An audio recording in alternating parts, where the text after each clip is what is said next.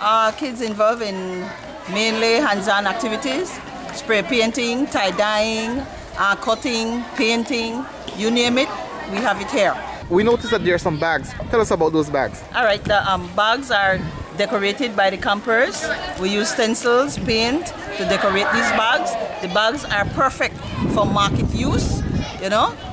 Take them to the market instead of using uh, plastic bags. We recycle. We do. We have new things instead of you know having plastic bags thrown all over the place. So the, the bags are perfect. We notice there are a lot of kids here. What are what are the numbers and how long is this camp going to last? Oh well, this camp begin on uh, began on Monday, on Monday the first of July. We will finish up uh, on Friday. Uh, we have like over 100 campers presently. Wow. Every year the number keeps rising or? Keep going up, keep going up. We have, so far, the biggest crowd we had was like 145 campers. All right. So how, how did this initiative come about and who made it possible? Well, this started off with Miss Julie Coonert. Um, she's originally from um, St. Louis, Missouri. Uh, we started off with like, say, 75 campers in Parish Hall.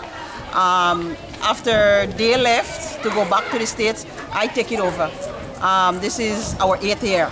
At this point, I would like to thank the parents, first of all, to trust, trust us with their children. We have, I mean, a lot of children on compound and we need to get the parents' uh, participation and involvement.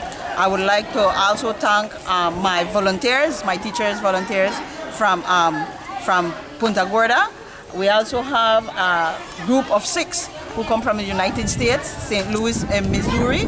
I would also like to thank BTL, BTL for their sponsorship to make this camp possible. We also spoke to founder Julie Cooner who gave her impressions. We, I brought five volunteers with me for six of us. We are from the States, from St. Louis, Missouri, and I come down here and I help Faye every single year. This is our eighth year of camp, and it is one of the largest camps in the area, and we have over 100 students. We do art projects with them. We have a lot of fun. We do games. It's a good time. All right. So far, how has the other team members been? Like, have they, is this some of their first time being here?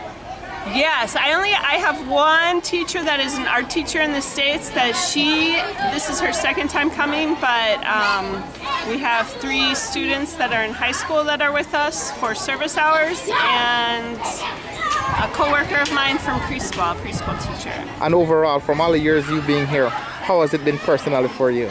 Oh, it's been great. I, I lived here a long time ago and started the camp then, and so I love coming back because it really does feel like a home away from home.